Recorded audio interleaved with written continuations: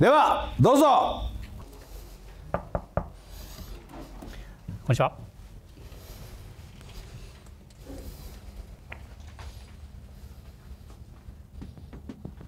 今宵も一人の志願者が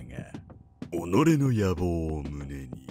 虎へと挑むではまずご経歴をどうぞ宍戸隆弘、43歳、東京都世田谷区出身です。えー最終学歴は日本大学卒業、えー現在の職業は株式会社僕らの代表取締役を務めております。えー今回の希望金額と出資形態を教えてください1000万円投資でお願いします。あなたが思い描く未来の姿は？ファンマーケティングを世の中に広めたい。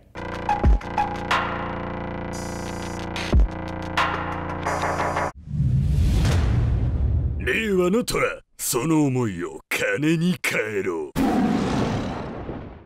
ではオールワンナッシン新しい未来をつかみ取れキャッチザバンド。では宍戸さん簡単なご経歴をお願いします。東京都世田谷区に、えー大正7年から、えーまあ、始まっている、えー老舗の八百屋との息子として生まれまして、えーまあ、大学卒業後八百屋は継がずに、えーまあ、日産の、まあ、自動車ディーラーで働いたりとかあとは不動産の営業をやったりとかデジタルマーケティング SNS マーケティングなどを、まあ、経まして2015年から、えーファンマーケティング支援事業という形で株式会社僕らという会社をえー立ち上げております現在9期目となっております。今回のプランを簡単にご説明くださいえーファンマーケティング支援事業を通じまして、トラの皆様とビジネスとして関わりたいなと考えております。はいあの大変シンプルですけれども少しこのファンファンマーケティングっていうのが多分僕も含めてよく分かってない方も見えると思うんでどんな感じですか？はい、あの世の中には、まあ、いろんな広告手法だったり、まあ、ファンマーケあ、えー、とマーケティング手法とか、まあ、いろんなものがあるかと思うんですけれども僕らがやらせていただいているファンマーケティングというのはですね、えーファンの力を、まあ、活用して、えーまあ、広告だったりとか、えーまあ、マーケティング PR なんかに生かしながら最終的に売り上げを上げたりとか、えー広告宣伝費を下げながら営業利益を上げていくというようなものになっております。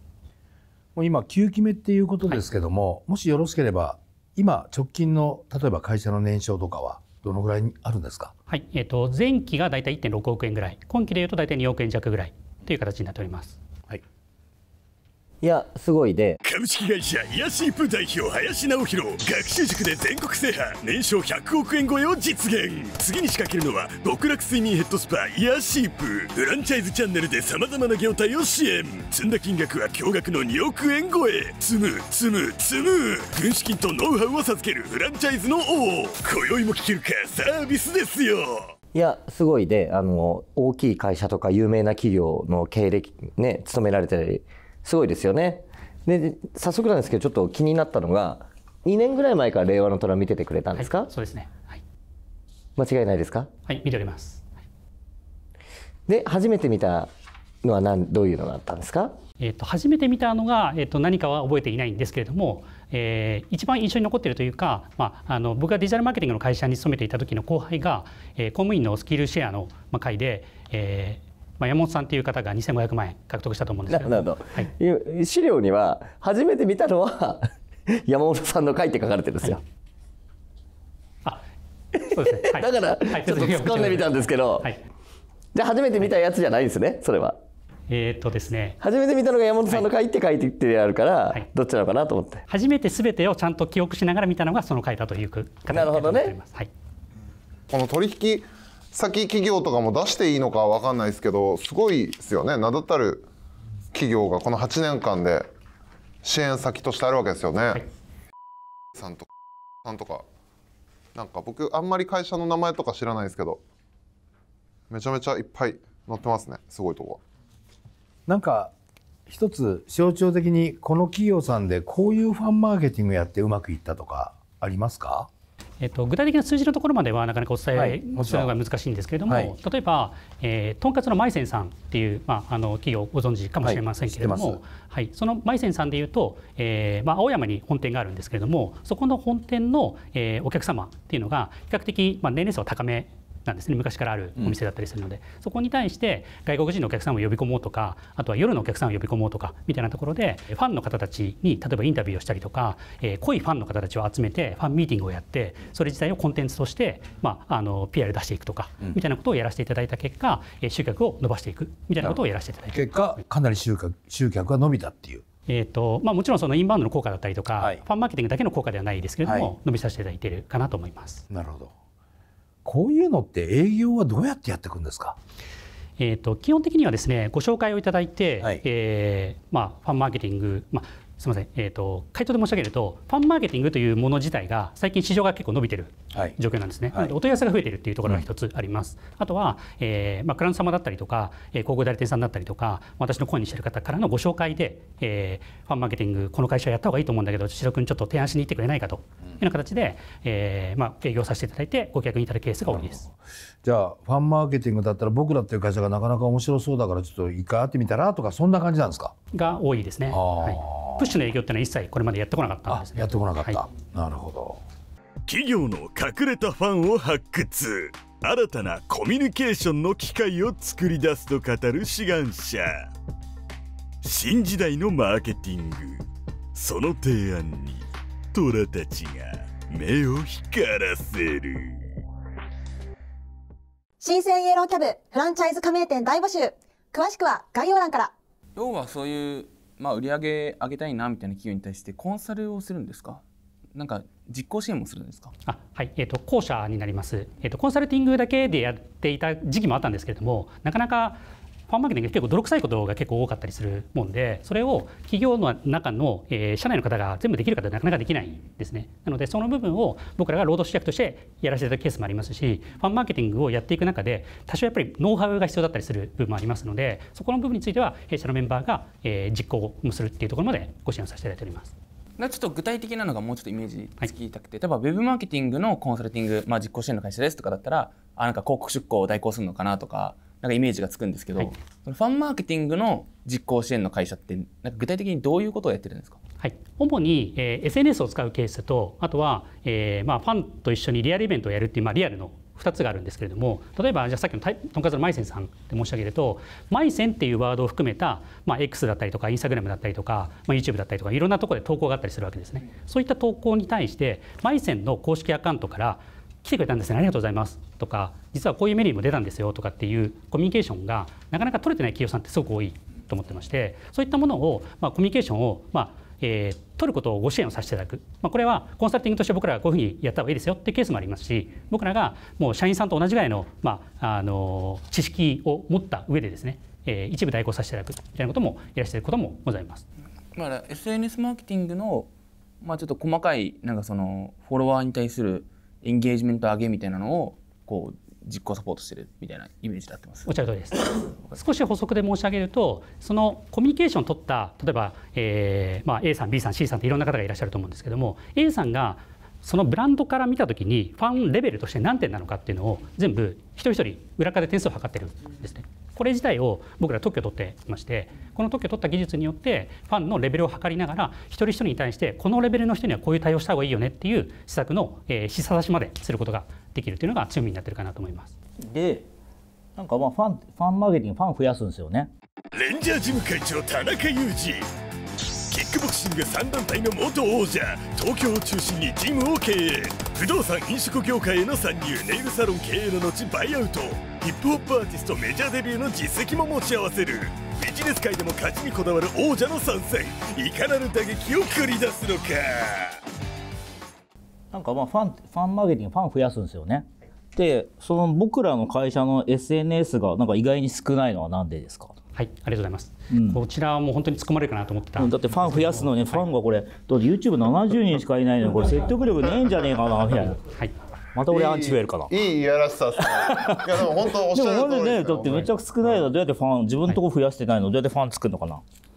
SNS 上のファンを作るっていうことにあまり重きを置いてこなかったっていうのが回答になるかなと思ってます。というと、はい。今まで僕ら広告宣伝費をほとんど使わずに、ん。えー8年間トータルで大体14億弱ぐらいの売り上げを上げてきたんですけれども、ん。これ自体が僕自身にファンがついてきたとか僕らという、まあ、ファンマーケティングという、まあ、ビジネス自体にファンがついてきたから結果、まあ、売り上げが上がってきたのかなと思っていて、まあ、ここからさらにぐっと伸ばしていくためには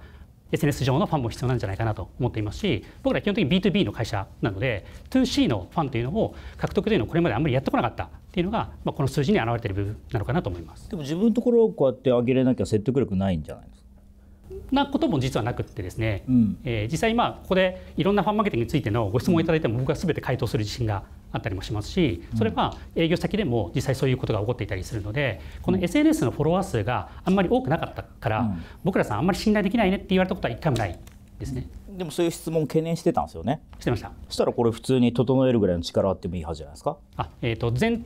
今の持てる力をちゃんと出そうかなっていう形で出させていただいてるんですけども、うん。会社のアカウント自体はあんまり多くはないんですけども、うん。僕自身は、まあまあ、X だったりとかインスタグラムの方で、まあ、ファンとコミュニケーションを取ったりとかっていうところで、えーファンの獲得は、まあ、一部できてるかなと,、どのぐらいいるんですか？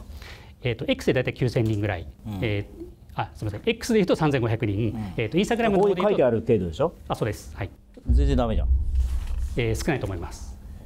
まあ、まあ、でもご本人の主張はあれですよねその B2B に関しては自分自身も力があったけど B2C はやってこなかったっていうのが主張だからまあそこに関してなんです僕も実はあのユージ社長と同じことを気になってましてご自身の会社がファンマーケティングできてるのかと。で今ねそのやり方で累計で14億売ってきた？みたいなことをおっしゃいましたけど累累累計っつったったら僕の累計いくらになるんだよって話 だよね。そんな人生の累計の売上高で言っていいなら、もういくらでも言える。1000億とかいくわっていう話で、うん、そんなの年商1億とか2億なわけでしょ？それであのファンマーケティング上手ですって。じゃあそれがほぼほぼ利益って言ったら分かるけど従業員も結構いるんでそんなにめちゃくちゃ儲かってるわけじゃないでしょ？そうですね、はい。だからファンマーケティングが上手な会社が自分の会社マーケティングできてないとそれは説得力ない。これは個人だよって言っても B2B だってできてないじゃんって思っちゃうよね。はい。なのでそこはやっぱ僕は気になりました。これは個人だからっていう話じゃなくてその点はどうですか？しかも年商累計で言うなんてちょっとどうなのとも思いました。はい、ご指摘の通りだと思います。もうここはあの多少でもですね、ちょっと自分を大きく見せようと感じている部分なのかなと思っているので、それがね、はい。めっちゃ伝わってきて俺も全く同じこと考えていて、はい。この企画書見た時に初めてですよね年商累計で書いてきた人。こんなのありえないなって僕は思ってました。ここまでですか。思ってました。確かに累じゅ14億ってなんだ累計っ例えばうち34年会社やってるから、はいじゃあ年商の累計やったらとんでもない数になるよねそれで自分を少しでも大きく見せようってい自分の言葉で言ってる時点で、なんて浅はかなって俺は思っちゃうんだけど。いや僕なんかチャチャーミングでいいかなって個人的には思いますけどね。全国の視聴者の皆さんこういうふうに思うことが多いんでツイッターでよく累計何億円を販売実績ありますかって書いてる人今すぐ書き換えた方がいいですよ。うん確かに。まあリスキーではありますね。うん、あの意味がないというかで何っていう、はい、さっきトモハッピーがなんかすげえ大物出てきたって言うけど全然そう感じないんだよね。おー。しかもあれだね5期5期が3.9億あってあのファンマーケティングできてないんじゃないですか？は売上半減してるじゃないですか。大丈夫ですか？心配なのが株式会社リライブ代表佐々木隆。キル元気リライブシャツは年間販売数10万枚超え。志願者からトライと成り上がりを果たしスポーツ生態リカバリーとさまざまな業界で話題沸騰中。還暦の虎魂の起業家はいかなる志願者のソウルと共鳴するのか。心配なのがこの過去の営業利益の成績の悪さです。よ、はい相当多分あの累積赤字が溜まってるんだろうなっていう感じをこの市場を見ると受けるんですけどその辺大丈夫なんですか？はい。えー、とこの資料の中のグラフで、まあ、5期まで結構ぐっと伸びてきてで営業利益がかなりマイナスになってる、まあ、7000万円ほどの営業赤字が 2, 2期続いたんですけども、このタイミングでは実はあの、まあ、一切僕らプッシュの営業してなかったんですけども、えーさすがにその、うんですかね、業種、業態がファンマーケティングの相性のいいところと付き合った方がいいんじゃないかっていう考えたタイミングがありまして、その時にスポーツが非常にファンマーケティングと相性がいいんじゃないかというふうに考えたのが、まあ、2019年ぐらいのもう5期のタイミングなんですね。でこの時に、えースポーツチーム、まあ、特にバスケが多かったんですけども、えーバスケチームってあんまりお金がなかったりするもんで僕らがスポンサーに入りながら、えー発注をいただくっていうバーターの契約っていうのをさせていただいておりました。これが、まあ、当時2億円ぐらい、えー3.9億の中の2億円ぐらいが売上の、まあ、スポーツチームの売上だったんですけども、まあ、そのチームはですねちょうど、まあ、コロナでなかなかうーん動けなくなっちゃったっていうところがありまして、えー20チームやっていたのを翌年にはまあ2チームに減らしたんですね。なので、まあ、売上がスポーツチーム2億円ぐらいだったのが大体2000万円ぐらいに落としたっていうような形になっています。いやだからここの、まあ、人数がね13人の人数で、多分累積赤字が多分数億円みたいなイメージが僕にはあるんですよ。間違ってます。あそんなにはないですね、えー実際まあ7期のタイミングでもう黒字化していましてで8期についあすみません。8期については、えーこれからのまあ伸びにに対してですね、えー寄与できるように開発費用であったりとか人材の採用だったりっていうのをかなり前倒しで入れているところがあります。なので営業赤字自体は伸びてあ、えー、と増えてはいるんですけれども、まあ、これはあのあえてっていうところかなと思います。あじゃあ経営状態はこれでもそんなに悪くないですよっていうえー、とすごい良いとは言えないですけれども、ええ。まあ、あのちゃんと回るような形にはなっているかなと。ああ、そうですね。だってこれいいですか？だって年商1.6億でしょ？で52名体制って偉そうに書いてるけどこれ1人当たり年間300万ちょいしか売り上げてないってことですよねこれ。あえー、と正確には正社員が15人。と、あとは業務委託のメンバーっていうのが多くいますので、まあまあででもさ、はい。でもだって給料も取れないと普通の平均年収以下の。こう考えちゃうと。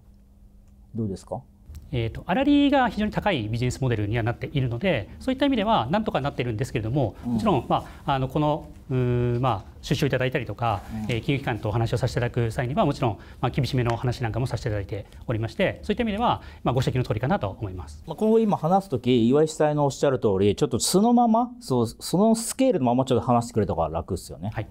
お願いします、はい。なんかお金の張り方も結構謎なんですよね。本来このビジネスモデルって赤字にならないはずなんですよ特にね、まあ、正社員雇っちゃってるからですけどまあ業務委託メインを多めにやっていけば要はクライアントがいて、まあ、コンサルとか自宅、まあ、原価が後から発生するモデルなんであらななんでこんなことになってるのかいまいちこう腑に落ちないんですよね。年間の交際費っていくらぐらいですか？えー、大体500万円から600万円ぐらいだと思います。全然使ってないですね、別にこの規模でそれぐらいならあの僕はちょっとないですねあすみませんいいいですか？違和感があるのはさっきのバスケットのところでそれだけの金額を出してそれで仕事をもらうっていう感覚が僕の中ではものすごく違和感があるんですよ。だってファンマーケティングって彼らって絶対に必要でいろんなあの施策売ってるんですね。だからそこのところだから本当にいいもんだったらそんなものはあのお金なんか出さなくたって普通に行きゃ普通にあのお願いしますって来るはずなんですよ。少なくとも金額最悪ね下げたでも下げれば絶対来るはずなんですよ。だからなぜそういうこのお金のベッドの仕方をしたのかなっていうところがうーんちょっとあの営業のねあの施策のもしかしたら失敗なのかそれともなんかこうまた別な要因があるのかってその率直に教えてほしいんです。これは僕は失敗だと思っています。まあ、おっしゃる通り結果論で言うと、まあ、ファーマーケティングの良さをしっかりと伝えればエンタメだったりとかスポーツっていうのは間違いなくやらなきゃいけないモデルだと思っています。ただ当時、まあ、僕があんまりプッシュ営業してなかったっていうのもあるので少しやっぱり弱気になっていて、えーまあ、1000万円出すから1000万円発注してくださいと。でその代わり、えーそのそのチームに入っているスポンサー企業さんがいっぱいいらっしゃるのでそういった企業さんを紹介してくださいと。いうような形で、まあ、なんですかね、リード元みたいなイメージで入ったんですけれども結果あんまりリードがもらえなかったっていうところがあるので、まあ、結果僕はまあスポーツチームへの資金として大体2億円から3億円ぐらい多分使ったと思うんですけどもこれは完全に失敗だったなと思っています。そうですね。あの多分バスケってほとんどこう地元企業さんが多いので、そんなにファンマーケティングに対してっていうのはニーズが高い企業ばっかりじゃないと思うので、確かにおっしゃることはその通りで、多分失敗したということなんですよね。そうですねあ、はい理解しました、ありがとうございます。なんか途中までその成長曲線にあってコロナで一回沈んじゃったと思うんですけど、えっと、コロナ前って取引先何社いたんですか？コロナ前、えー、と正確な数字までは分からないですがおそらく、えー、と200弱ぐらいだったと思います。えアクティブで200弱いたんですか？えー、と延べの数が。累計じゃないですよ、えっと、その時の継続中のはい。クライアントさんってどれぐらいいたんですか、あえっと、月額のクライアントさんと単発のクライアントさんがいらっしゃるんですけども月額の方で申し上げると大体多分20社ぐらいだったと思います。それで言うと今は30社が契約中なんですか？そうです。あじゃあ月額の相手で言うと増えてるんですねえっと単価が下がってます。あー結構これってなんか今まで275社との取引実績があって現在30社やってるってことなんですけどこう実績作りのための無料でいいから試しに使ってくれみたいなのも結構含まれてるんですかこれって、えっとスポーツはそれに結構近いかなと思うんですが、それ以外の一般企業さんは一切それはないです。安くしとくぐらいですかね、あっても若干あの金額や値引いたりとかはああったと思いますけれども、今契約中の30社って差し支えなければどんな会社さんなんですか？その単価下がってるとおっしゃってますけど大手はあんまりいないんですか？あ大手もいます。大手も。はい、まあ、むしろ大手ばっかりですね。大手ばっかり、はい。え例えばどこですか？別に P でもいいんですかえー、とであったりとか、はあとは、まあ、さっきの徳川マイセンさんもそうですしあとは、えー、と直近でさんだったりとか、まあ、結構、まあ、あの数千億ぐらいの企業さんは比較的クライアントさんの中には多いかなと思います。深まる議論。志願者の現状を掘り下げる中盤戦。虎たちが疑念を抱き始める。このビジネスいかなる可能性を秘めているのか物語は怒涛の後半戦へうん、普通こういうのってファンマーケティングってやめられないはずなんですよ。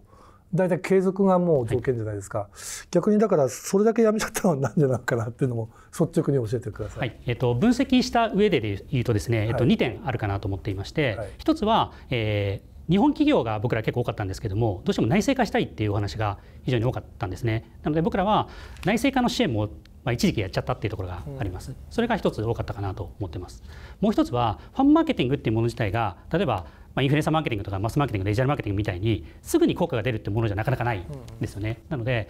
効果が出るまでに短くても半年とか1年以上かかってしまうものが多いかなと思っているのでそういった意味では、まあ、うんその効果がちゃんと見える前に、えー、と解約をされてしまったっていう、まあ、僕らが費用対効果を明示ししきれなかったっていうのが大きな原因かなと思います。それはコンサル力不足の可能性ありますね。そうですね要は、えー、と作業代行としての労力と見られてしまったっていうところがあるのかなと思います。もっと早く成果出せるあれはないですか？やり方というかえっと、ファンマーケティングにおいてうんってことですかね、えっと、僕はなかなかないかなと思っていまして、これが今、うんと試しにやってる部分でいうと、X だったり、インスタグラムだったり、まあ、YouTube とかっていうよりは、例えば飲食店とかでいうと、Google マップ上の口コミを見て、行くか行かないかを決める方って結構多いんじゃないかなと思っているので、Google マップに書かれている口コミって、まあ、結構企業さんが放置されているケースが多かったりすると思うんですね。ここに対してちゃんとアクションをちゃんとしていくことによって、本来口コミを見て、悪い口コミがあったら行かないっていう人が結構多いんじゃないかなと思うんですけども、それを食い止めることができるんじゃないかなっていうことでは、飲食店に対してはそういった施策は有効なんじゃないかなと思って、今試しているところでもあります。えそれただ Google 口コミに返信して生かしましょうっていうだけの話をしました今えー、とそれに近いです。それは別にそれはなんか外部企業に頼む必要ないことじゃないですか自分らでできるっていうか、えースタッフがやるよね。うん、あもちろんスタッフでできる部分もあるかと思それやっうんですけども。た方がいいのは別にみんな知ってるじゃないですかっていう、なんですけれどもなかなか労力だったりとか、はい。えー、とそこにあやってくれるってことはですか、代わりに。いやります、はい。ああそうか。でまとめて提供してくれるってことですね。そうです。うん。さらにその方たちのファンのレベルも全部測っていく形ですね。だから今の話を聞いてると逆にこのそうそうたるメンバーの取引先もなんでお願いしちゃったのというかそれぐらいがわからないレベルなの？みたいな。本当にこの人たち発注したのって思うぐらいの話でしたね今のはね。だからきっと宍戸さんの良さが今日出てないのかもしれないんですけどえなんかツイッターで見つけて話しかけて Google での口コミ返信する業務を引き受けるぐらいな感じだとそれはファンマーケティングなの？という。これ本当にここに載ってる大企業がいまだに続けているんですか？月50万も払って。あ、えっと全てではなくてその中の30社が今お付き合いをさせていただいている。これ正直に答えてほしいんですけど、これはい直接取引ですか？この会社と。えっと8割ぐらいが直接取引です。うん。残りの2割は、えっと代理店さんを通じて取引させていただいておりますにわかには信じがたいような気がしてきちゃいましたね。ねえ実は30系40系なんじゃないかみたいな、うんしかもねやっぱちょっと盛り癖があるんでうんその考えるとそれも含めてね信じたいんだけどそう信じれなくなっちゃいますよね。そして何よりマーケティング会社のに自社がマーケティングできてなくてそんなに儲かってないっていうと辛いよね。掴まれちゃうよね。あちょっと資料を見ててすごい気になってるのがごめんなさい全然話の腰違うんだけど。株式会社カードン会長トモハッピー。カードゲーム専門店ハレルヤを創業年商は60億円超え。伝説のプロゲーマーが次に手掛けるのはマジック・ザ・ギャザリングをはじめ全てのカードゲームを取り扱う超総合店カードン。ボビー界のエヴァンジェリストは志願者のライフを癒すのかあるいは強烈な一撃を叩き込むのか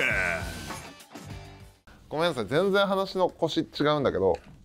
なんかずっと全部のところに実家は100年続く八百屋っていうのが全部のところに書いてあるんですけどこれなんか関係あるんですか？この事業とか宍戸さんの文字が大きくなってんだよねそこがね。そうそうそう。この実ご実家のその事業は素晴らしいと思うんですけど八百屋さん100年続けてるってなんかなんか関係あるんですか？宍戸さんとこの事業を売り込む上であこのファンが増えるん200ですかこれは？ありがとうございます。えっと、275社お付き合いしてきた中で、大体まあ3割から4割ぐらいが100年以上続いている老舗の企業さんが多いですね。じゃあ大手に刺さるみたいな感じでそれが思ってるってことですね。あ実際刺さってきたっていうところがあるので、えっとまあ、僕が起業したきっかけっていうのもまさにその辺にあったりもしますので、えー、ちょっとそれ教えてください。はい。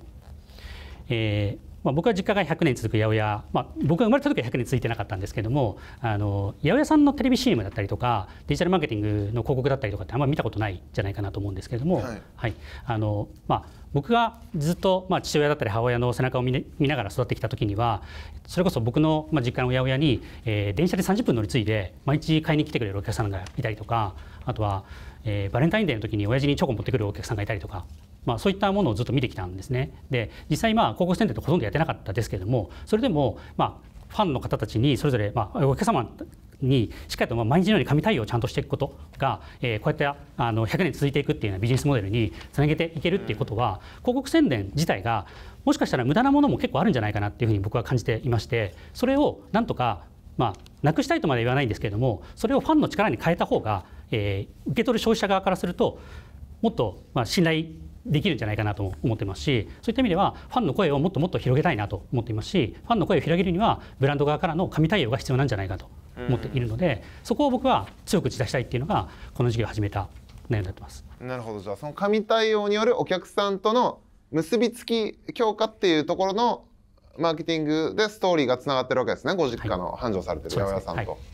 じゃあその神対応っていうところについてもっと多分聞かせてほしいです僕らは。Google に返信してくれたりとか Twitter で話しかけてくれたりとかそんなのやってるところいくらでもあるんでもともと神対応でも今そんなのは神ってユーザー側が思わなくなってきてるんでもちろん好感度を抱いたりはするんですけどなんか SNS 以外のその神対応っていうところってどういうのがあります？えっと、まず前提としてですね、えっと、皆さんのように結構リテラシーが高いっていう、まあ、僕からすると思う方々からするとですねそういった SNS 上でコメントがあったら回答しようねとかっていうのは当たり前の世界なんじゃないかなと思うんですけれども、これを僕は2015年に立ち上げて、えー同じことを2015年からずっとやってきてるんですけれどもいまだに、えー2023年になってもその投稿してる方に、えー来てくれてありがとうございますって言うとこんなところにコメントくれるんですね。ありがとうございますっていまだに言われるんですよね。はい。なのでそういった意味ではまだそれは浸透してないのかなと思ってます。それはい。いんですけど、それもあると思うんですけど、僕の質問は SNS のそのリアクション以外で、リアクションとかノードアクション以外で教えてくださいって例えばその素晴らしいお客様アンケートの必殺技があるとかなんか、接客対応中のこういう技を教えてるとかそういうのはないんですか？えっともしかしたらこれも、えー皆様からすると陳腐な話に聞こえてしまうかもしれないんですけれども、えー例えばアンケートはがきに書いてくれた内容に対して手書きでアンケートを書い、えーはがきを返してあげるとか、みたいなことだけでもすごく喜んでくれる方もいらっしゃいますしファンの方たちを集めてイベントでしっかりと社長が握手をするとかみたいなことだけでもやってらっしゃらない企業さん非常に多い中でそれにまあもう泣いて感動される方もいらっしゃったりするんですね。僕はそれをまあ何百社もまあ見てきた中でこれは多くの企業が絶対取り入れなきゃいけないマーケティング手法なんだなと思っているのでこれをとにかく広めたいという思いですね。でも宍戸さん今あの俺たちに神対応できてないですよ。神対応してくださ自覚しております。神対応してほしいな。それを見たいですよね。ここまで岩井社長どうですか？僕はずっとこの株式会社モノリスジャパン代表岩井義明。令和の虎チャンネル主催として日本屈指のビジネス系 YouTube チャンネルを育て上げる。志願者の思いや人柄にベットするそのスタイルはまさに永遠の応援団長志願者や虎時に視聴者にまでも縦横無尽に放たれる魂の一括に今宵誰が打ち抜かれるのか僕はずっとこの必要資金と資金調達計画のところが気になってしょうがなくて自己資金2000万って書いてあるんですよ。僕の会社の経営の経験から言うと売上が1億5000万ぐらいで銀行借り入れが同じぐらいあって自己資金2000万あるっていうのがちょっと僕は信じられなくてここにこの自己資金2000万書くのがでよく左に目を移すとこの3項目がそんな書こうと思えば何だって適当にこの数字合わせれるなっていう7,000万に合計なってるんですよね。で7,000万の中の今日の資金調達って7分の1じゃないですか。皆さんにいただくお金は全体の7分の1ですよ。僕その倍の自己資金2,000万持ってますよ。金融機関からこんなのもあってエンジェル投資家からもこんだけ集めてますよ。これが俺すっごい嫌なんですよ。本当のこと言えよって思うんですよね。っていうのが僕の感想です。実際2000万円持ってるんですか？えっと、私というよりは僕の、まあ、嫁というか、えー、私自身ではないですね。持ったんだったら盛りました。すみませんって早く言ってこいと思いますよ。持ってるわけではないです。あの実際僕は会社に今4300万円ほどお金を貸している状況なんですね。そんなんさだ俺だって死ぬほど貸してたよ会社には自分の金。そんなことを偉そうに言うんじゃなくてで今言われたら自分の金じゃなくて嫁の金。嫁の金2000万突っ込んでやらなくてよくね？それより自分の会社改善してった方がよくない？こんな新規事業やるよりこの自己資金2000万がねどうにも僕の中では整理がつかないですけどもっぺんだけ聞きますけどじゃあ奥さんにこういう新しい事業をやるから自分は金ないけどお前2000万出してくれって言ったって話で合ってますか？合ってます。100年続く八百屋さんの息子さんなのにお奥さんに借りたんですか？その資金ないんですか？実家にも。あえっと実家あえっとですねこのエンジェル投資家 &VC かっこ2000万円っていうふうに書いてあるかと思うんですけども、うん。この中にはあの親からの資金っていうのも今回は入る予定になってます。エンジェル投資家イコール親あえっとほとんど割合は少ないんですけども、うんはい。まあ、要はなんかなんか正社員も15人いらっしゃるんでなんか本当はこう AI 開発とか人材採用とかじゃなくてで自己資金も本当はなくて本当に今こう正社員の方の給料を払うためにお金が本当になくてマジで困ってるから来たぐらいなんじゃないかなって疑ってるというかむしろそうそうであってほしいぐらいのいい感じなんですよ。そでもやっぱ本当本当に AI 開発するし本当に2000万あってお金をに余裕があるというかそそういう感じなんですか？えっとすみません。ちょっと表現が僕が多分正しくなかったんだと思うんですが、えー苦しいのは苦しいです。うん。ただ、えーこれがじゃあ例えば金融機関からまだ借りれないのかっていうとお願いしたら多分借りれるんじゃないかなとも思っていますし今回、えーあ違うな。すみません。いやはい。借りれるんですか？じゃあすすごい冷たい言い方だけどじゃあ借りてやればって思っちゃうんですよね。はい。いや本当にその言い方もなんかさっきから僕言ってんじゃん。こうやってね大変な中で例えばプランが突拍子もなくてとかの人もいるだろうけど金融機関で借りられないから令和の虎に来たっていう方がよっぽどマシで我々にしてみると。そこでいや金融機関からまだ借りられると思いますけどって言われたら虎の存在意義ないんだよ。そうですね。えっとなんなんでじゃあここに来てるのって話になっちゃっていや俺本当は余裕なんす。でも一応なんか令和の虎好きだしここに座ってみたかったんですよとかって言われたらふざけんなって話になっちゃうね。助けがいがないですよね、うん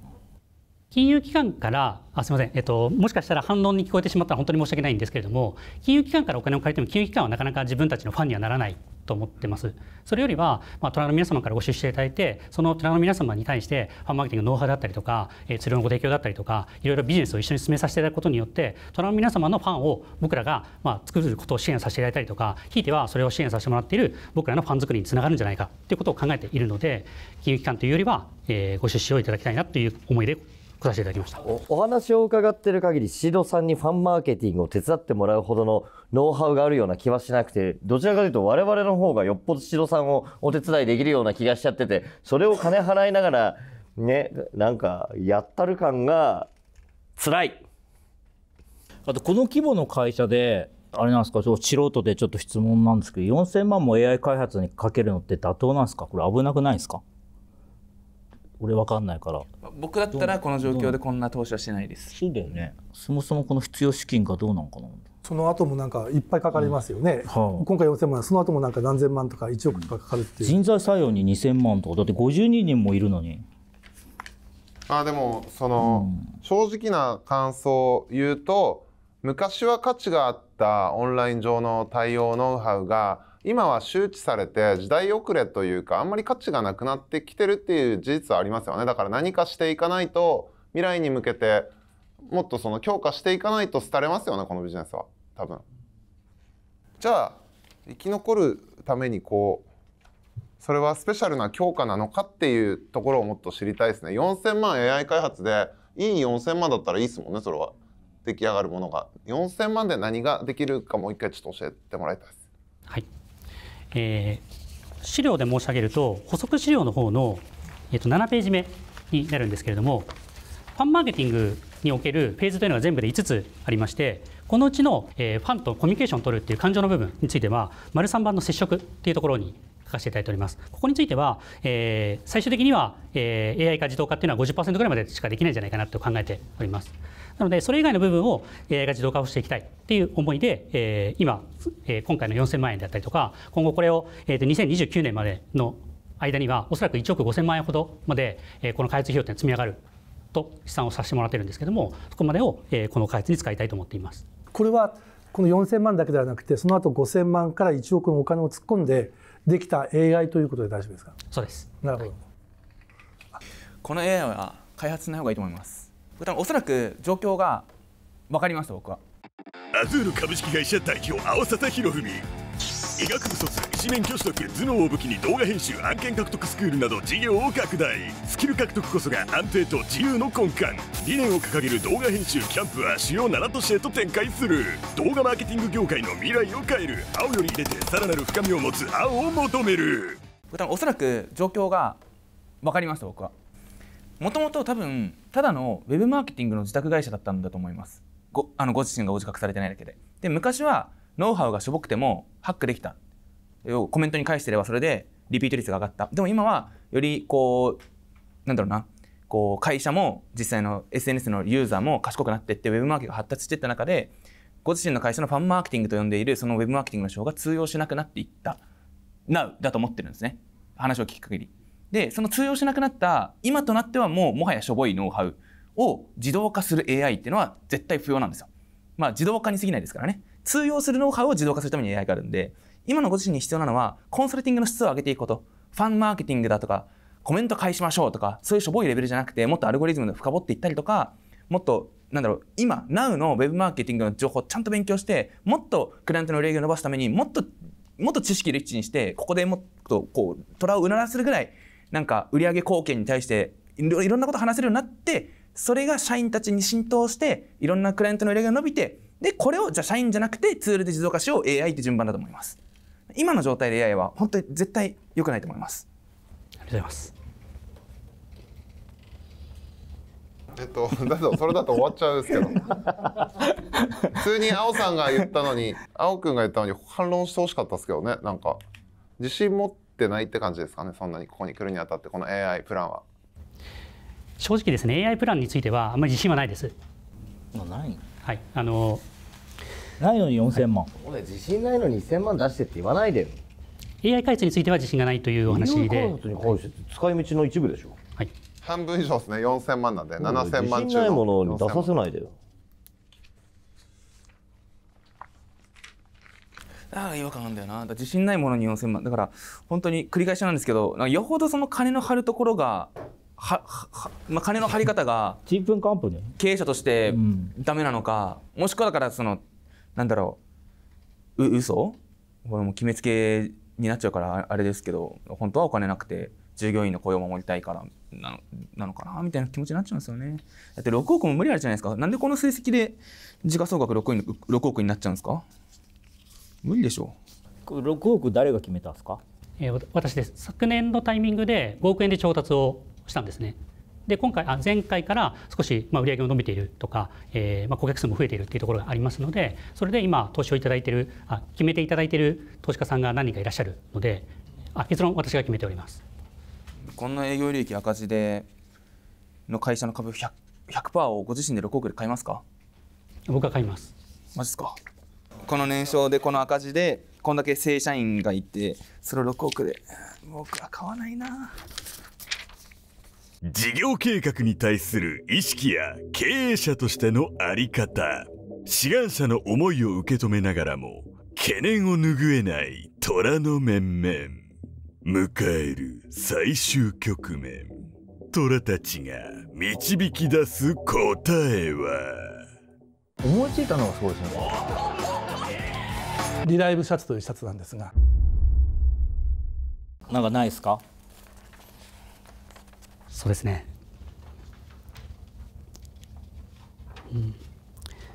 あ、僕はとにかくファンマーケティング、まあ、マーケティングっていう言葉を使うのはあんまり好きではないんですけれどもとにかくいろんな企業さんのファンを作るっていうことをあの支援をしたいんですね。で僕自身に例えばファンを作るノウハウがあんまり足りてないんじゃないのとか実際数字が伴ってないんじゃないのっていうのは本当にご指摘の通りだなと思っていますし、まあ、プッシュ営業しなくてもこれまで、えー取れてきたっていうのにちょっとあぐらをかいてしまった部分もあるのかなと思っているので、えーまあ、この AI 開発っていうところを起死回生策として、まあ、あの自信ない中でも、えーお金を投じてきたっていうところでちょっと、うん後戻りできなくなってきてるのも正直あったんだと思います。なのであの青社長のおっしゃる通りちょっと違うところにお金をかける必要もあるのかなと思っていますし僕の考え方自体だったりとか、まあ、経営の手法であったりとかっていうのはどうしても独自で進めてきたっていうところがありますので、まあ本当に今日勉強になってるところではあるんですけども、まあ、このファンマーケティングを進めていくことによって神対応が世の中にちゃんと溢れていく社会にしたいと思ってるんですね。そういう意味ではあの AI 開発なのか人材採用なのか教育なのか、えー僕自身の、まあ、もっと営業なのかっていうのはもうがむしゃらにやらなきゃいけないなっていうのは今感じております。いや今おっしゃったことがあなたの本当に本音なんだったら青青さんの言ったことはすごく今日大切であの今日を機になんかちょっと会社としての方針変えないと先ないよねこれ。だからそのきっかけになるんだったら出た甲斐があったって俺思うけどだって500人志願者見てきたけどこういうムードになることってなかなかめったにないんですよ。このムードって何かっていうとオールなのかナッシングなのかっていうことだけじゃなくて要はこれだけ虎たちの心をつかみきれてない人って珍しいんですよ本当に。それは僕がいろいろ言ったこともその関係するかもわかんないけどでもやっぱり全体的にあなたは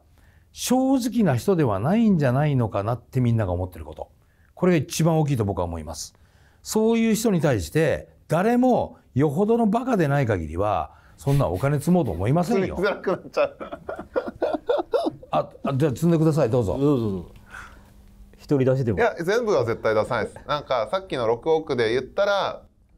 普通にこのこういう話なんで。ちょっとさ俺の喋ってる話腰折らないでくれる？途中で喋って。まあそう。俺もまだ喋りたいことあるんだから。そうですね。すいません。あ。はいなんかそこでさはい、積めなくなっちゃうとかって言われちゃうと俺今まで喋ってきたこと意味なくなっちゃうし。別にみんなが積むなっていうために俺言ってるわけじゃねえんだよ。いや別にリアクションの1個や2個そんな目くじら立てなくてもいいじゃないですか。金積むか積まないかの番組で。だから俺が喋り終わってから喋れ。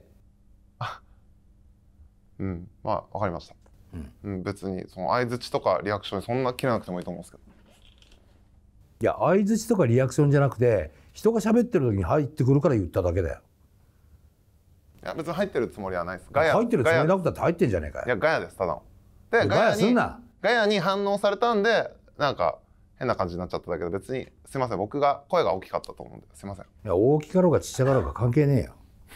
でもう一回話すると、今はそういう状態じゃないですか。でそのやっぱり自分がねもう少し裸になって正直にちゃんと言わないともう時間ないから動かないですよきっとこの人たちの。トマピは知らんけど。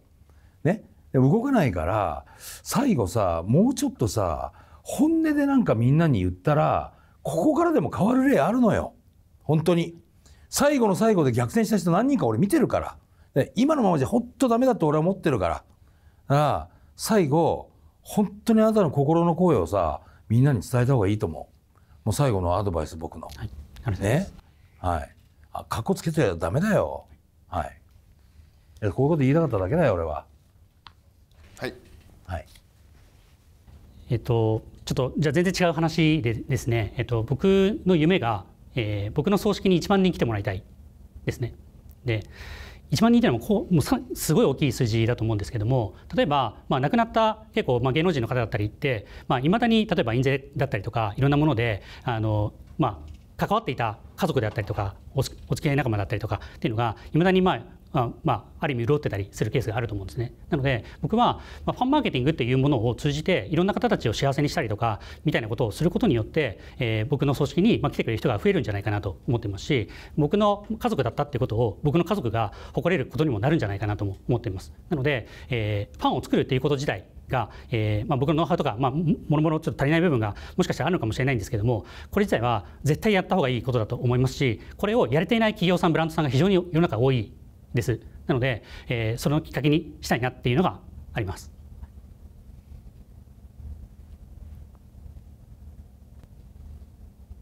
響きましたか？特に。もうもう一個お話ししてもいいですか？どうぞ。えっと、僕は、えっと、もう20年以上通ってる、まあ、ラーメン屋さんがありましてこのラーメン屋さん僕めちゃくちゃ好きなのでもうこれまで多分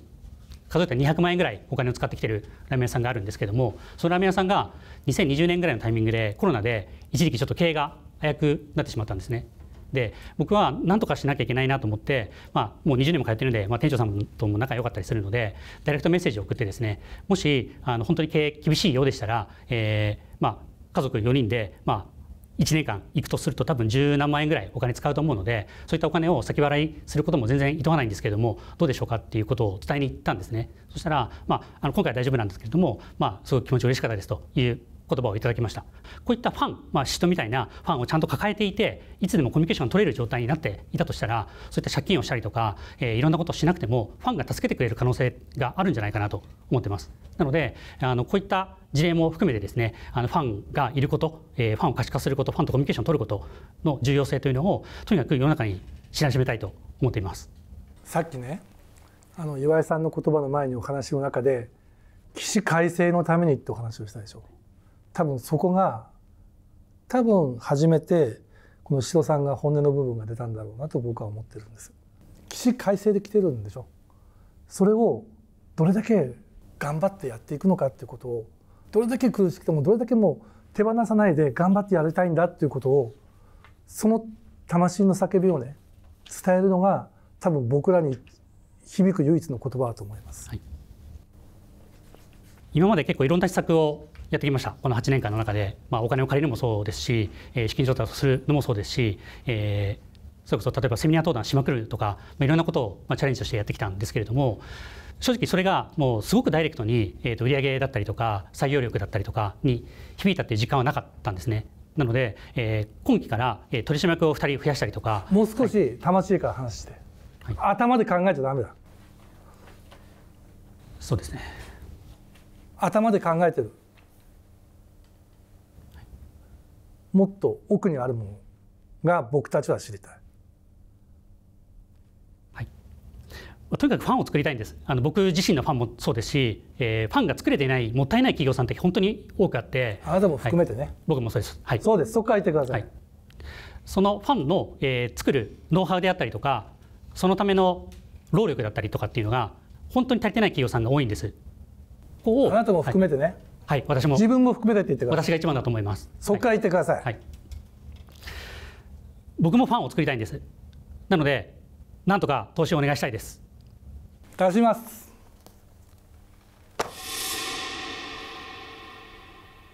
400万です。400万。はい佐々木さんから400万積まれました。もう時間がありません。最後何か質問一つぐらいしたい人がいたら大丈夫ですか？はいでは、えー最後もう一声お願いしたいと思いますえー、シードさんよろしくお願いしますラストステートメントですはい、僕自身まだ全然ファンもいませんし、ノウハウも全然ないですし、えー会社も全然大したことないと思います。なので、えーこれを、えー皆さんの力もお借りして、とにかくファンを作る会社として、えー世の中の一番になりたいと思っています。よろしくお願いします。はい、では一旦壁側を向きください。はい。では、ファイナルジャッジメントタイムです。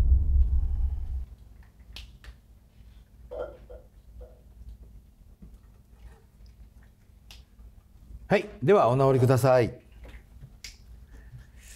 はい、それでは最終決断に入ってまいります。青さん、お願いします。はい、僕はナッシングです。えっと、まあ、収録中いろいろ言いましたが、でも僕は宍戸さんはすごく素敵な方で、宍戸さんをす好き好きな方はすごい周りにいっぱいいらっしゃるんだろうなと感じてます。まあ、まあ、儲かってないって言ったらあれですけど、こういった成績なのに、正社員の方が15名ついてきているっていうのもやっぱ素晴らしいことだと思いますし、ただそのお金の使い先だったりとか、能力の使い先っていうのが違うのか、もしかしたら営業マンとしてすごい優秀なのかもしれない。だって、ね、こんだけ大きな企業のアカウント開いてるわけですから、僕らもこんな企業のアカウントは開けないわけで。なのでなんかもうちょっとお金や能力の使い先を上手にしていったら歯車が噛み合う瞬間が来るのかなと思ってます。応援してます。ありがとうございます。はいゆうじさはい。自分もナッシングです。えっとまずファンマーケティングってプランなのに自分のファンマーケティングができてないこととあと7000万のうち虎が1000万噛んであと AI 開発で4000万っていうのもちょっとよく分かんないし、うん、で人柄というかなんかその気持ちはまあ悪い人じゃないのかなと俺も思ったんですけど、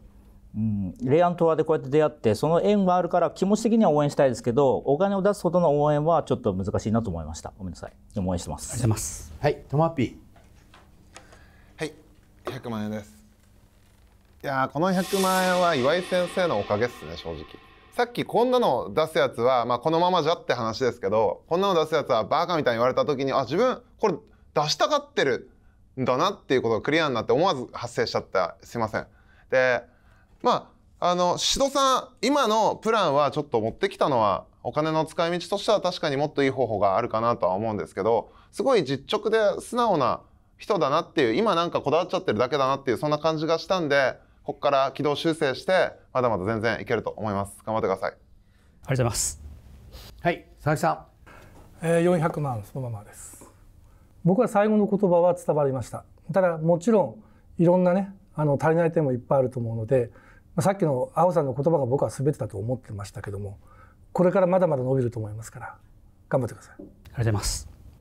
はい現在ちょうど半分の500万まで積み上がりました。林さんお願いします。はいいくつかね思うところなんですけどとりあえずまずマーケティングがねの会社で自社の売り上げを上げられてないのはやっぱり辛いですよね。大した技術がないんじゃないかってなっちゃいますしあとやっぱり気になったのは AI のところは自信がありませんと。自信がないプランに人のお金を1000万出させちゃダメじゃない？以上です。ありがとうございます。えー今回は、えー希望金額の半分までいきましたが、えー達成できなかったのでラッシングですお疲れ様でしたはい、えー、塩さんかなり厳しい攻防になりました、えー感想を一言いただけますか？えー至らなかったと思います。えー